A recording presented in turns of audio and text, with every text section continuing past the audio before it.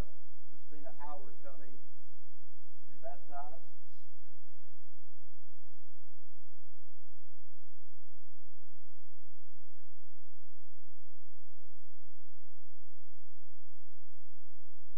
Christina also comes today presenting, being presented for membership here in our church family.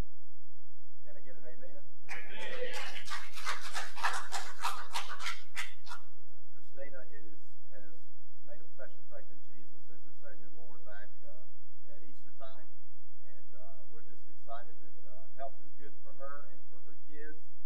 So she's here today uh, to go into the baptismal water. So I'm going to invite you, family, stand if you would in honor, friends. You gotta take your mask off. Take her mask off. Okay. All right.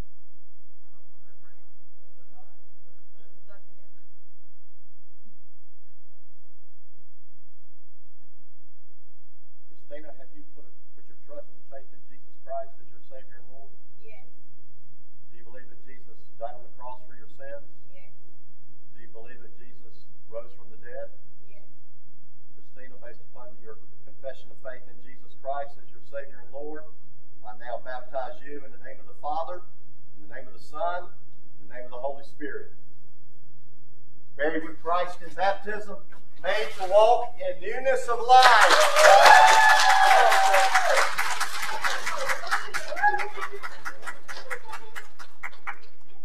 You may be seated.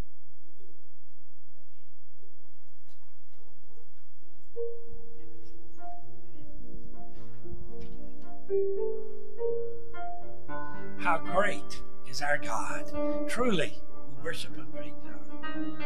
Join us in singing the words the.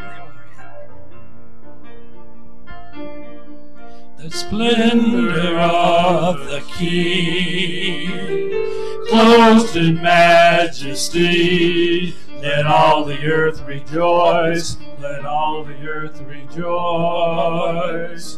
He wraps himself in light, and darkness tries to hide. It trembles at his voice, it trembles at his voice. How great is our God! Sing it with how great is our God, and all will see how great, how great is our God. Age to age stands, and time is in his hands, beginning and the end, beginning and the end. The Godhead three in one. Father, Spirit, Son, the Lion and the Lamb, the Lion and the Lamb. How great is our God! Sing with me, how great is our God! And all will see how great, how great is our God. Name above all names, worthy of all praise. My heart will sing, how great is our God. The splendor of the King clothed in majesty. Let all the earth rejoice, let all the earth rejoice. He wraps himself in light, and darkness tries to hide. It trembles at his voice, it trembles at his voice. How great is our God! Sing with me, how great is our God! And all will see how great, how great is our God. And age to age he stands, and time is in his hands, beginning and the end, beginning and the end. The God Godhead three and one. Father, Spirit, Son, the Lion and the Lamb, the Lion and the Lamb. Join us. How great is our God! Sing with me, how great is our God! Oh, all will see how great, how great is our God! Name of all names, worthy of all praise. My heart will sing how great is our God. Name above all names. Sing it again, that little. Name above all names, worthy of all praise. My heart will sing how great is our God.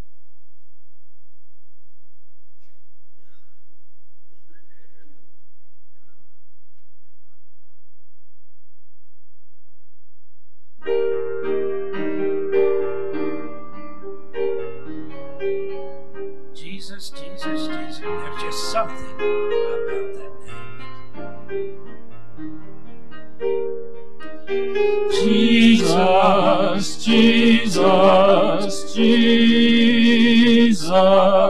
There's just something about that name. Master, Savior, Jesus, like the fragrance after Jesus, Jesus, Jesus, let all heaven and earth proclaim. Kings and kingdoms will all pass away, but there's something about that Something, Jesus. Jesus, Jesus. There's something about that name. Master, Savior, Jesus, let our heaven proclaim. Jesus, Jesus, Jesus, let our heaven and earth proclaim. Kings and kingdoms will all pass away. But there's something about that name.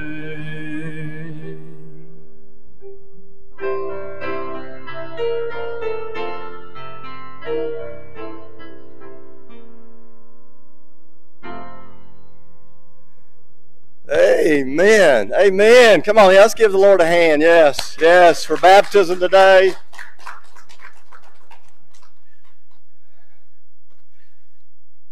Let me get my act together. You get your act together. Go ahead and join me in uh, Revelation as we have been there for a few weeks. We continue in our Revelation. What's next? Because that question, what next, is on the minds and hearts of so many people. I run into them almost every week asking that question. They want to know what's next. What, what can we expect? Uh, what's God up to? Uh, what's God got in the future for us as we find it in Revelation? And, and Revelation is not a book to be afraid of. It, it's a book, book to be in awe of, to respect, but also, as first chapter tells us, blessed is he or she who what? Who reads it, who listens to it, and who obeys it. God's promised blessing. So we know that you're doing that because you're faithfully been coming to worship. And let me just pause and welcome our online community of faith. We're so glad to have each one of you uh, joining us for worship and you that are here uh, for worship. We, are excited that you're here. Uh, it's good to see you this morning. There were a couple announcements that I needed to remind you of. Uh, I'll go ahead and do that. One in particular is kick, today is the kickoff of phase two of our uh, plan of regathering. And we're going to start a Sunday school class for adults, come on, and for children. Yeah, yeah, for adults and for children. Uh, the adult Sunday school class will be here after worship. We'll wait probably about 10 after 11 to get it started to give you a chance to, to go uh, take care of going to the restroom and whatever else you may need to speak to someone. And then the Sunday school class for the children is going to be outdoors. And so, children, uh, you'll want to make your way. Parents, help them get find their way over to the me. Oh, me right outside the exit door. Uh, Trish and um, uh, Phyllis is going to be teaching you today, and it's going to be a great time, children. You're going to have a wonderful time in Sunday school. Isn't it great that we get that start back being together for Sunday school? Can I get an amen? Uh, I know you've been looking, wanting that, looking forward to it, missing it tremendously. And uh, I'm excited that we're able to do that. And of course, we'll continue to uh, honor our, our COVID uh, guidelines uh, as we gather. Uh, even for Sunday school and afterwards after worship. But let's look at what God has to say. We're all going to look at five verses today. And all of you said, all of you said, yeah, I'm going to try to keep it short today. So, um, five verses. If you would turn to chapter 8. Um, let me introduce it this way. You know, it's interesting. One of the basic uh, tenets in your life and my life is justice. Did you know that? In fact, you don't have to go very far. Just it's a and it's a baffling thing for us. The idea of justice. It, it, it confuses us as Christians, not just Christians, but non Christians as well. And uh, it, it's basic so much, even a toddler knows uh, automatically will do what? A toddler will automatically cry out for justice when what? When his toy gets taken away by his brother. Amen?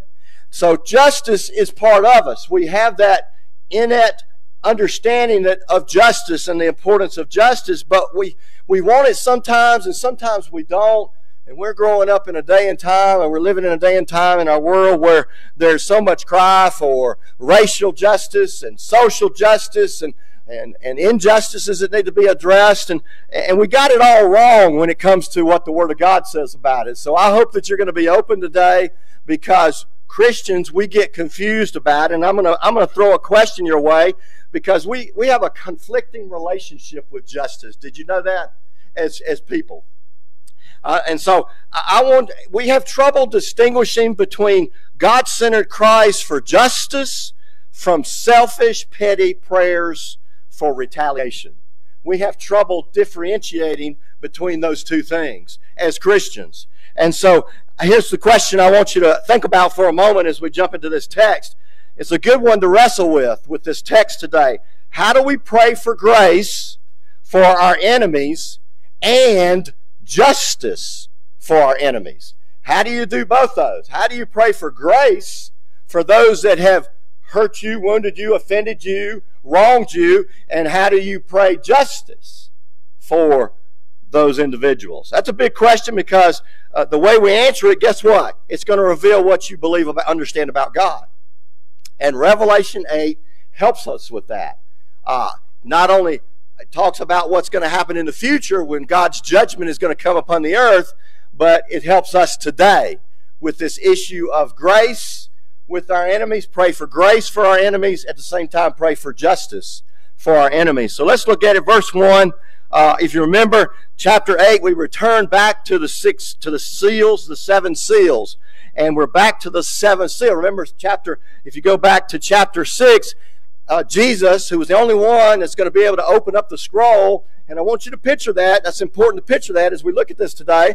Jesus the only one that is able to open the scroll in heaven in the future we're talking about. He's going to be able to open the scroll. And what's interesting in this text is evidently implies that everybody in heaven, the 24 elders, um, the uh, angels, and all that have all believers that have died and gone to heaven, they're all going to be able to see what is being said in the scroll. What, what they're going to be able to hear it. They're going to be able to see it. And so you need to keep that in mind as we look at this today. But I want to focus on two key elements when it comes to justice as it relates to the question I just asked you. How do you pray grace for your enemies? And how do you pray justice for your enemies? And so look at verses 1 through 5. Let me read them for us real quick. When the Lamb opened the seventh seal, there was silence in heaven for about a half an hour. Then I saw the seven angels who stand before God. Evidently, those seven angels, let me interject this because I'm not going to spend any time on this today, but you need to know this.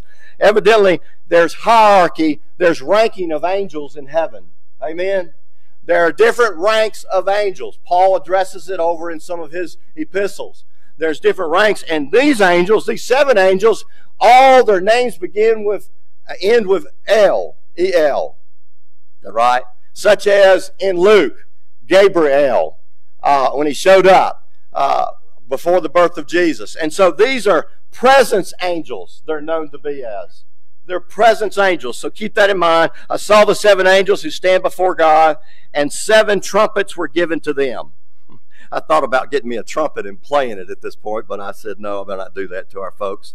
And another angel came and stood at the altar with a golden censer, and he was given much incense to offer with the prayers of all, circle that word all, of all the saints on the golden altar before the throne. And the smoke of the incense with the prayers of the saints rose before God from the hand of the angel. Verse 5. Then the angel took the censer and filled it with fire from the altar and threw it on the earth, and there were peals of thunder, rumblings, flashes of lightning, and an earthquake. Let's pray to pray. Let's go to the Lord in prayer. Let's pray together. Father in heaven, we are thankful for your word. We thank you for your word because your word gives us guidance. Your word is a light unto our path, a light unto our life, and a lamp unto our, our feet to guide us along the way. And so, Father, I pray right now as we enter to this, this incredible text before some horrible things are about to be unleashed on the earth in the future, Father, that we would get a grasp of justice and the right way to pray for our enemies. Both grace for them, at the same time praying for justice. For God, we know that you hold the key. You're, it's in your hands, Father. You're the source of justice. So as we look at that today, give us deeper understanding into that. Holy Spirit, teach us from your word, minister to our hearts, bring change, transformation in our lives from your word, God, today we pray. In Jesus' name. And God's people said, Amen. Let's look at this. As I read verse 1, when the Lamb opened the seventh seal, there was silence about a half an hour, a half hour. That's a really long time. You ever tried it in a large crowd? This is heaven we're looking at here. They're, they're in heaven. Jesus has opened the scroll and he's about to uh, re- uh, read it about the seventh seal. And then the trumpets, the seventh seal introduces the trumpets that we're going to look at next week. And so picture this in a crowd, all of a sudden they've been having noise like crazy up in heaven. Come on. They've been worshiping the Lord. They've been celebrating the Lord. I want you to get the picture here. There's been a lot of noise in heaven up to this point. Uh, loud singing, loud noise, joyful noise. The four living creatures, the 24 elders, host of angels have been all praising God. Uh, the, the saints, as we looked at last week, persecuted Christians under the altar have been crying out, How long, Lord? How long before you bring justice, judgment to the earth? And all that's been going on. Tribulation believers we looked at last week have been standing and worshiping God. And then all of a sudden, there's silence. Want you get a hold of that in heaven for 30 minutes. That's not easy to do. Why don't you try it later today? Don't move. Don't, don't do anything. And try just staying still for 30 minutes. It's not easy. It's tough to do. But that's what's going on in this text here in heaven in the future. It's before God unleashes his wrath, his judgment on the earth. There is a 30 minute pause. And I read, and it's a, that's a long silence 30, 30 minutes, half an hour. Some have joked about this, saying that this shows uh, two things that a lot of people who talk too much won't be in heaven. uh, no, that's not true, but one guy said, I read this this week, one guy said, that proves my wife will not be there because she talks all the time. But, and those are jokes, and joke, putting all joking aside, half an hour doesn't sound long, uh, but again, try it say nothing, move around for for 30, don't move around for 30 minutes. Here's the calm before the storm. That's what I want you to hear. That's coming in the future. The calm moment in heaven where there's going to be silence for 30 minutes. And so, what is that all about? We're going to unpack that uh, before the fall comes, before the judgment comes. So there's a hush in heaven. So why why silence before judgment? Why in the world is God teaching us here about silence before judgment? Not only His judgment, but He's teaching us a lesson, hang with me, of how silence is important in your life before you bring judgment. Amen? Uh, or want to try to bring judgment on someone. It's a, it's a silence in heaven of awe. At the same time, I think there's dread. Because why? Because everybody, I think since the beginning of creation, the angels and the 24 elders and uh, the living creatures, I think since the beginning of creation, they have been looking for this day that's about to come. They've been longing for this day. They've been wondering when it's going to come. And, and so uh, it, we know in the next several chapters it's going to be very difficult for people on earth. It's going to be very difficult as we look at that in the weeks ahead. But know this it's like the day has finally come. That's why they're silent. It's like, wow, it's finally here. And that means that saints are going to be vindicated, Satan will be destroyed, that sin will be done away with, and Jesus will reign and rule forever and ever. Can I get an amen? Amen. That's what we're looking forward to. And so there's good reason to be silent. Here's what I want you to note silence is clarifying the source of justice. Don't miss that. Silence is accenting the source of justice. So let's get real clear about who's bringing the justice. Exodus 14 is a great illustration of that. Moses, you know, they they've they've just they're on the run from the from the army, the Egyptian army, and they look over the hill and they see them and they're getting so despondent, they're getting so in despair. They're like, you know, and, and they're really starting to be upset big time with Moses, even though they hadn't fully expressed it to Moses. And and the scripture says what?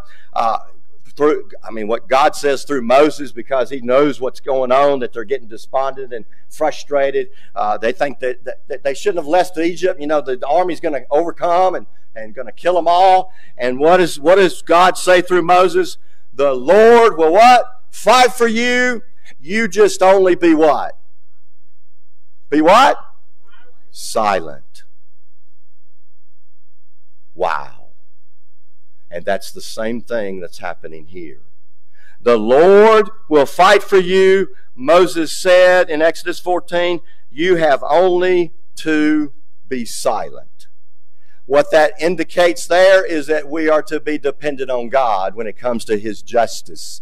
We're to be dependent on God when it comes to justice for our enemies and even praying grace for our enemies. But we'll unpack that in just a moment. So silence directs our attention to the source. But number two, the character or the nature of the one who is behind the judgment or justice. Exodus 34 6. Remember when God revealed his glory to Moses? This uh, God was telling telling them, he said, and he's speaking of himself, he says, God is merciful and gracious. Here it is. If you want to know the character of God today, this next phrase, he's what? He's slow to anger. Wow. Yeah, if you want to know God who God is, there it is in that phrase right there. He is slow to anger, abounding in steadfast love and faithfulness. Amen. God doesn't get miffed like we do. God doesn't get upset. He doesn't get peeved. He doesn't get ticked off. He doesn't get irate. He doesn't wake up on the wrong side of the bed.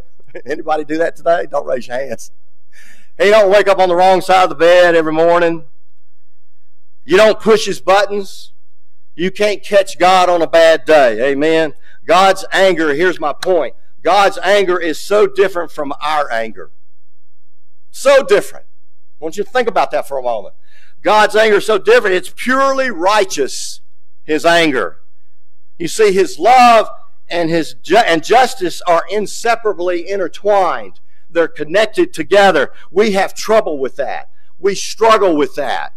Bringing our love and justice that we want to see happen together.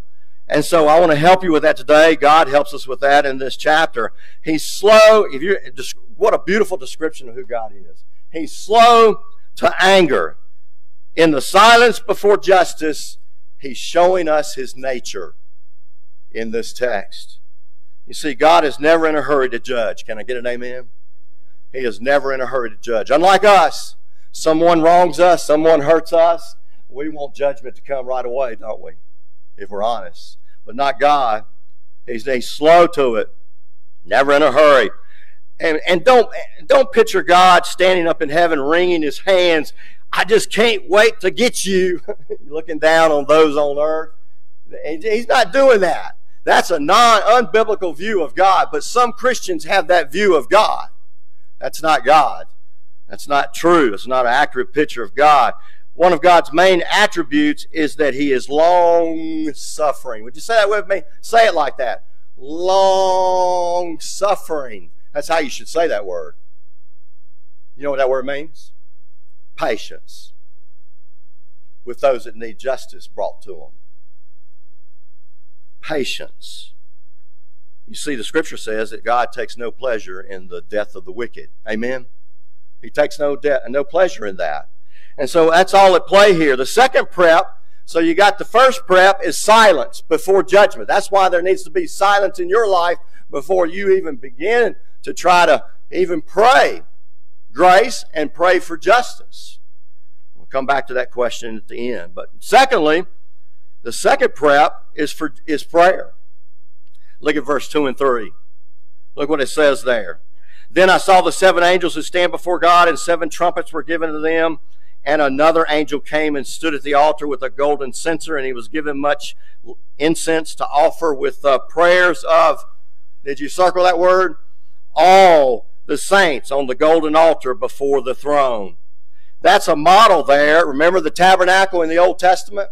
It's a model there, and you have to understand this to know what he's what God's saying here uh, what he's revealing to us that's going to happen in the future right before uh, terrible things are going to take place on this planet when his wrath, his judgment is unleashed.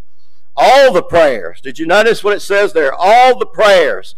And so if you remember in the tabernacle, I'm going to try to do it real quickly, uh, and that's what we're really reading here. There were two altars. Two of them. There was altar on the outer court brass altar. That's where the animals were killed, where the sacrifices were, were burned.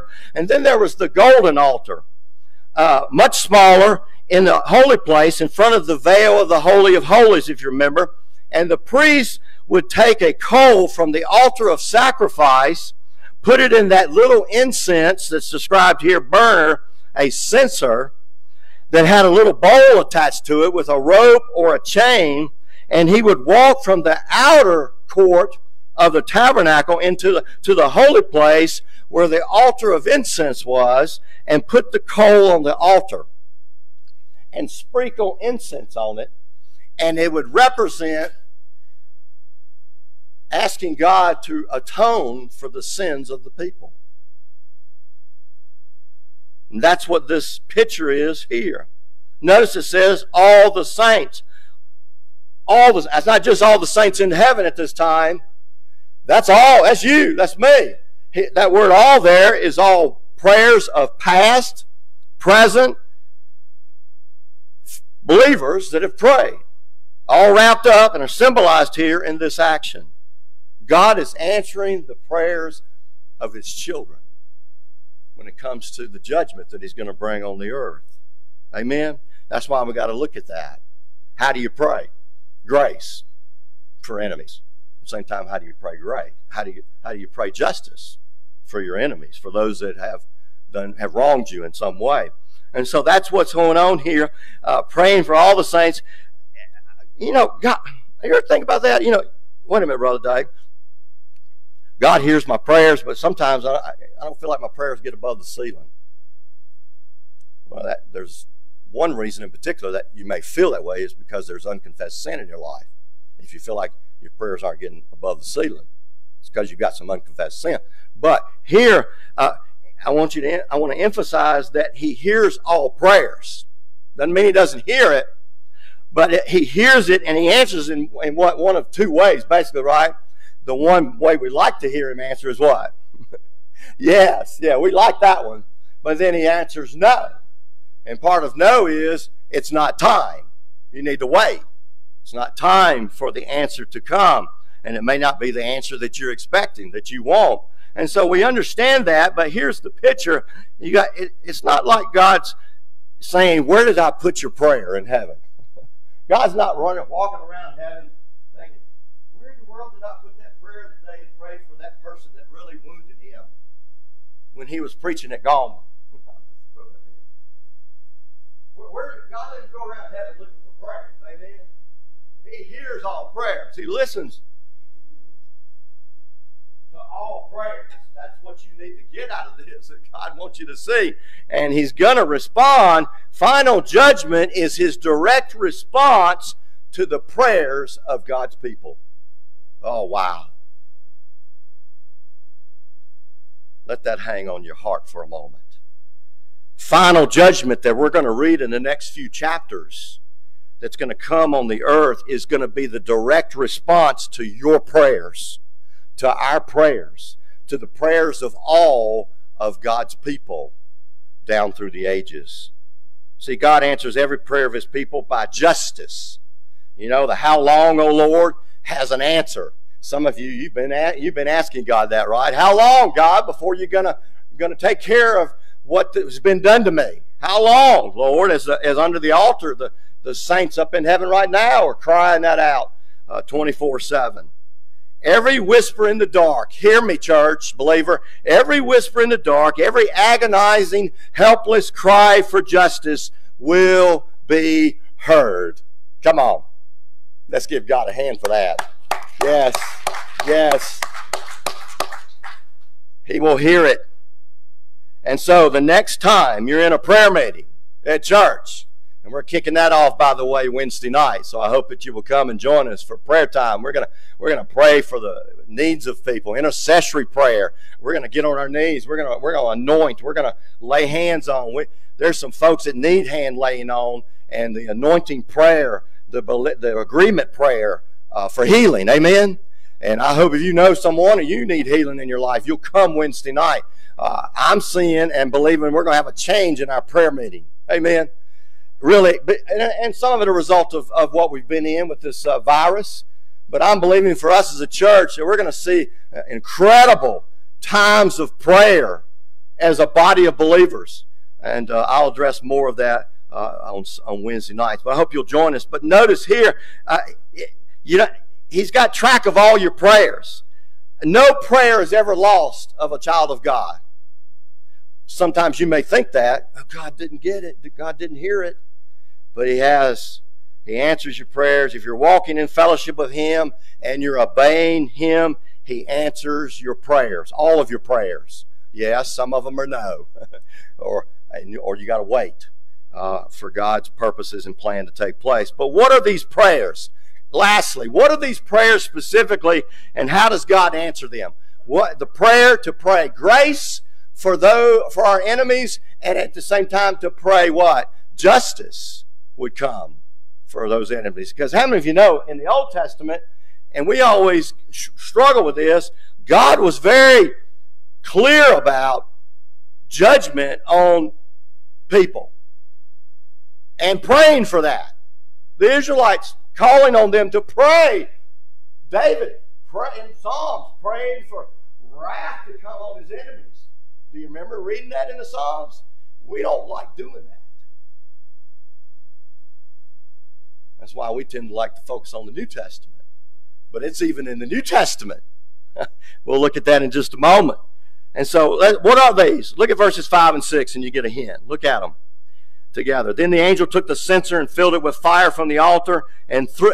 Notice what's happened. Before in the tabernacle, that was taken to the Holy of Holies. But in the future, that censer is going to be thrown where? Down the earth. It's not going to be taken into the presence of God. It's going to be thrown down to the earth, and there were peals of thunder, rumblings, flashes of lightning, and an earthquake. Do you know what God's saying there? It's really also a picture of what happened on the Day of Atonement in the Old Testament. You read about it. High priest took the coal, he put it in the censer, he walked inside the holy place. If you remember, put the coal on the altar, put incense on it. He had blood from the altar on one hand, and then he took the censer in the other hand. And once that incense had burned in that censer, he walked in with the fire burning there of the incense and the blood, and he presented it before the Lord God, and it would atone for the sins of the people. Do you see? Sin was judged there in the Holy of Holies. Well, now you have the picture in the same way. The censer is going to be thrown down the earth, and the judgment is going to come on the sins of those on the earth that have resisted God, that have rebelled from God, that have not given their life to follow God and follow the Lord Jesus Christ. Amen. That's what he's describing. So, um, God is going to bring justice. Amen. We're going to read about it in the next several chapters. So, back to the question how do we pray grace for our enemies and justice? Pray justice for our enemies. Here it is. When a Christian prays, you might want to jot this down. When a Christian prays for justice, he prays two ways she or he. Prays short range prayer and long range prayer. Let me give them to you real quick. First of all, short range prayer. Someone's wronged you. Someone's offended God. We're praying for that person. We pray justice for that person. And here's what we pray that's grace. Short range. We pray that God would bring justice in the same way that He brought it to you. And how did God bring justice to you? Through Jesus Christ. That's how you pray for those that have wounded you. Short range prayer. That's for grace. The same grace that God has shown to you and when you did you God could have unleashed his justice on you in times in your life in the same way that God took that away, put it on Jesus, amen. He put it on Jesus. In the same way we're to pray when someone has wronged us or offended God.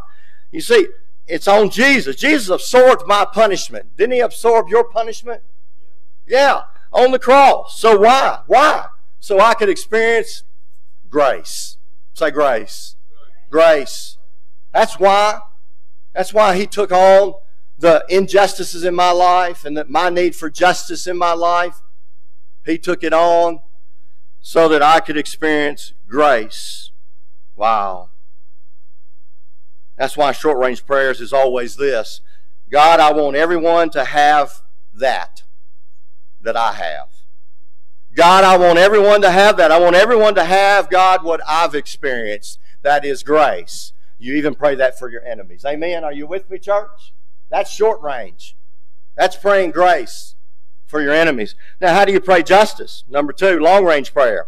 If that person you're praying for refuses to uh, receive the offer of grace in Christ Jesus, they have, in, in a sense, made the decision for the burning coals of judgment that we read about in chapter 8 next week to be unleashed on them. Are you with me? And so you pray. Thessalonians, 2 Thessalonians 1. You know, coals of judgment are indications in the Old Testament of God's purifying work, refining work in people's lives. So keeping that in mind, 2 Thessalonians 1 really gives us the picture, Paul does. When the Lord Jesus is revealed from heaven, and he's really referring to this here, when the Lord Jesus, uh, about to happen, when, when he comes, when, when the Lord Jesus is revealed from heaven with his mighty angels in a flaming fire, afflicting, inflicting vengeance on those who do not know him and on those who do not obey the gospel of the Lord Jesus Christ. See, there's a time coming in Revelation that we're going to read about in the, in the near weeks of his coming to earth and bringing the wrath, his wrath, God's wrath upon the earth. And so we need to understand there's short range prayer, grace for that person that's hurt you, that's not easy to do. I admit that, but that's what we have to do. If we want to experience the true meaning of grace in our lives, we got to pray that kind of prayer. The same grace that God's given me, He inflicted all the punishment I should have received on His Son Jesus. I got to pray in that in that same vein for those that have hurt me, wounded me, offended God in my life. So, what can we do today? Well, obviously, it's two things practice silence practice silence, and then prep for in our preparation for judgment. It's coming. Are you with me, believers? God is going to make all injustices right one day. Can I get an amen from the house of the Lord today? God is going to bring every make everything wrong right one day. And we have to keep, that's the hope that we have. We have to cling to that hope. We have to live in that hope with those that offend us, those that offend God, those that have wounded us or hurt us. Because why? Because silence allows us to hear, hear me, that our prayer has been heard. When you're silent, it will allow you to hear that God has really heard your prayer and that God remains what? As the scripture says, the just. God is just, but He's also the justifier. Not us. God is just, perfect in His justice, and God is the only one that can justify the wrongs. Amen. The word is clear. God will bring short range justice, so we pray for revival. We need to be praying for revival right now in our nation. We need to be praying for our president, praying for healing from the virus and his wife and some of his close associates up there that have come down with it. We need to be praying. We need to be praying for our nation, that our nation would see the need to turn back to God, to repent. Repentance is the prayer we need to be praying. But let's not pray it for those out there until we pray it for ourselves first. Amen. Dave, Dave needs to repent each of us need to repent. We need to get real with God about any and every areas in our lives. And so we need to do that. Pray for revival. That's the short range justice prayer, knowing that long range justice is going to come. God's going to bring it. Every injustice made right. And see, that gives us hope, doesn't it? That's the hope that is ours. So we need to stop crying. we need to stop arguing. We need to stop complaining. And me, let me interject this. We need to get along with our brothers and sisters in the Lord. Amen. In the church. We need to get along with one another. We need to love one another. We need to be quick to forgive one another when we've been offended or been hurt in some way. Because the scripture makes it clear fear not, stand firm, and see the salvation of the Lord. Amen. The Lord will fight for you. You have only to be silent. I'm going to invite you to be silent for a moment. Would you bow your heads, close your eyes? No talking, no moving.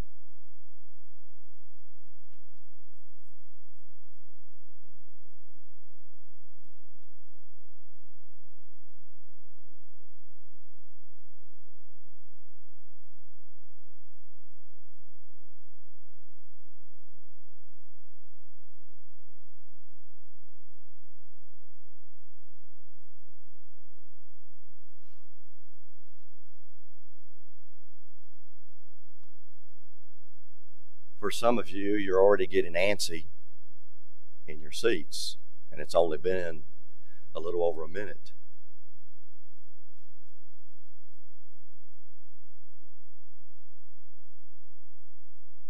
So, as we come into this time of decision,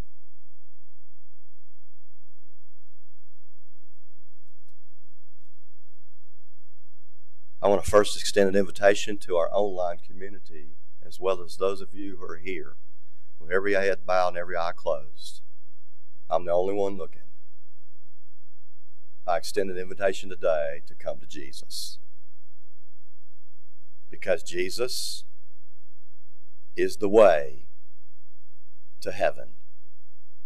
Heaven is a prepared place. It's promised for those that have put their trust and faith in Jesus as Savior and Lord, and it's a precious place because Jesus says that His own hands that were nailed on that cross are preparing a place for every one of us in heaven.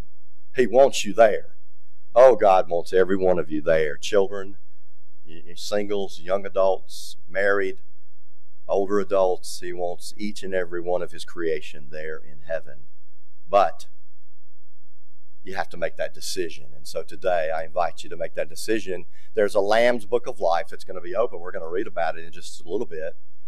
And if your name's not written in that Lamb's Book of Life, then the judgment will be that you have made the choice by not putting your faith and trust in Jesus as your Savior and Lord. You've made the decision, it's your choice, to not live with God forever in heaven, but to be eternally separated from God in hell. And maybe you're here today, a child, young adult, single adult, older adult, and you've not come to reality, come to really understand the, the significance of your choice, making your decision, not you, not parents for you, but you making the decision to put your faith in Jesus Christ. And so I invite you right now, just where you are, if you're ready to do that, if you see the need that you've never, never seriously considered where you're going to spend eternity and you've never made that decision to, to say, I need Jesus. I have, I'm, I'm a sinner and I need forgiveness for that sin. I need, I believe Jesus died for my sins and I, in faith, invite him into my life. If you don't remember a time that you did that and you're ready to do that today, would you just throw your hand up and just bring it back down? I want to pray for you today. Is there anyone here today? If you're listening online and that's your heart desire today, I'm going to pray for you as well. Let's pray together. Father in heaven, we thank you for the blood of Jesus that covers our sin, past, present, and future. And God, I'm lifting up those that may be online have come to realize that they need to put their trust in Jesus, not their trust in their own abilities, their own finances, their own knowledge, their own will, but to put their trust in Jesus alone for their salvation. And so I pray right now, Father, that they would take that step and just simply acknowledge that they are a sinner in need of salvation, that they, they, they would repent of their sin, that they would put their trust in Jesus and receive by faith what Jesus has done for them on the cross. That you would just acknowledge that with God, your Father, your Creator, right now. That you, by faith, receive Jesus into your heart and your life. And Jesus will come in in that moment. If that's a sincere heart as you pray that prayer, He will come in, He's promised, and He will bring about transformation in your heart and your life from the inside out. You don't have to do anything other than, than be obedient to His Word and to His will, to get in His Word, to spend time in intimacy with Him through prayer, uh, to be in a body of believers, the church, to be connected where you can serve and use your gifts for His glory, for His purposes for your life. Uh, but He's going to change you from the inside out as you surrender to Him. I rejoice with the angels if you made that decision today online. We'd love to know about it. Please let us know. Uh, phone numbers there that you can connect with us and let us know if you made a decision to receive Jesus as your Savior and Lord today. For others in house here, maybe it's a child here today that's ready to make that decision. Uh, maybe it's an adult that's never made that decision. I'm going to be over here to the side and, and for the invitation. And if there's a if there's someone here today that would like to talk with me about making that decision, I'm available to you. Just come to me. And I'd love to be able to help you with making that decision to give your life to Jesus Christ. Oh, we thank you, Lord. Help us to be silent prior to judgment and prep for judgment. To pray grace.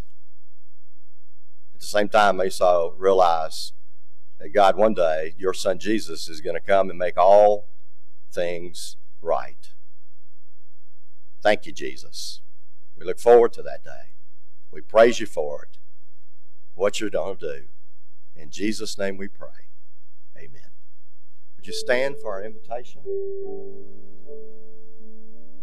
Again, I'm going to be over here to the side. If you'll just raise your hand if you need me to talk with you, and then I'm going to ask you to come join me outside,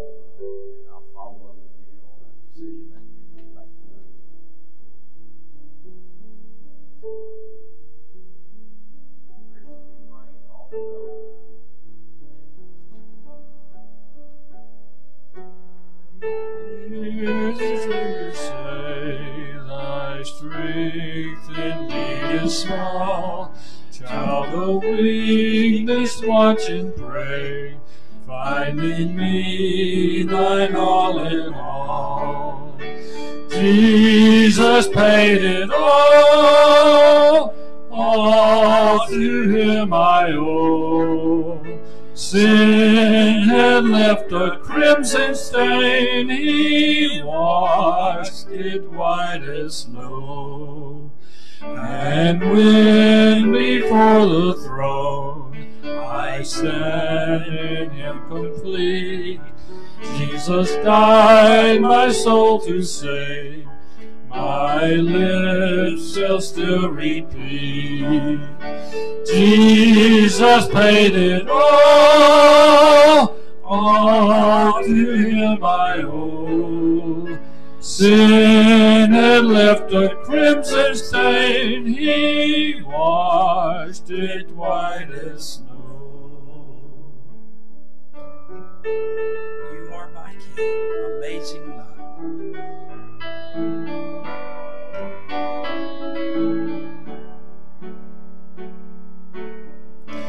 I'm forgiven because you were forsaken. I'm accepted, you were condemned.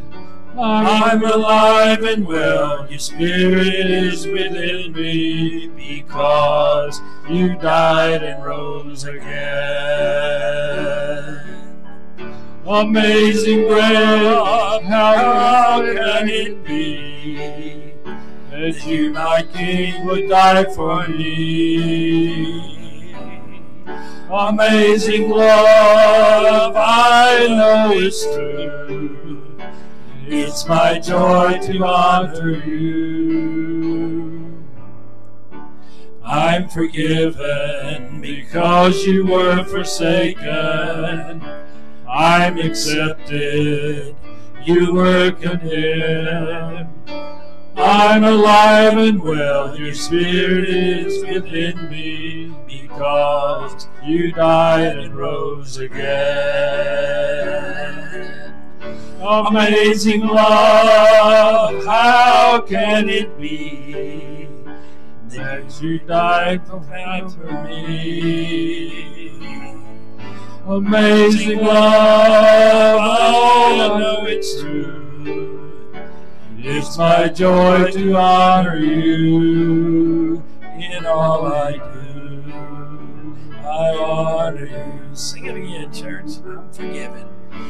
I'm forgiven because you were forsaken. I'm accepted, you were condemned.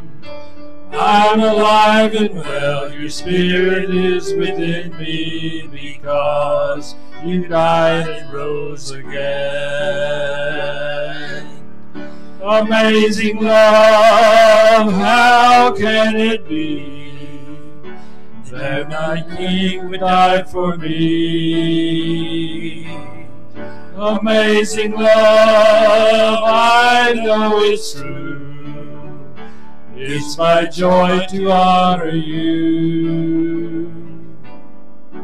I'm forgiven because you were forsaken.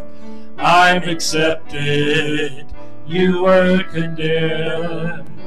I'm alive and well, your spirit is within me because you died and rose again.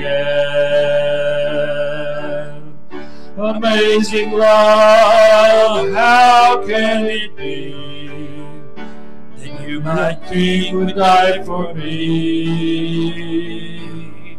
Amazing love, I know it's true, and my joy to honor you in all I do. I honor Blessed be the name of the Lord. Oh, for a thousand tongues to sing, blessed be the name of the Lord.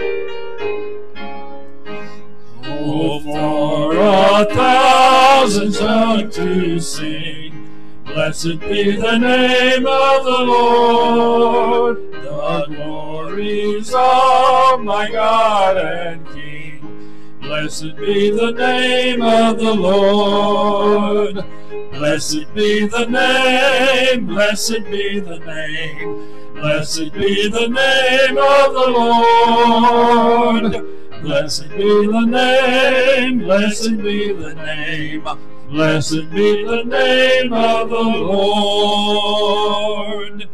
I never shall forget that day.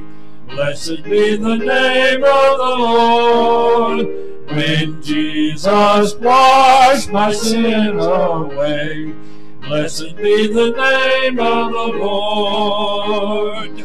Blessed be the name, blessed be the name, blessed be the name of the Lord. Blessed be the name, blessed be the name, blessed be the name of the Lord.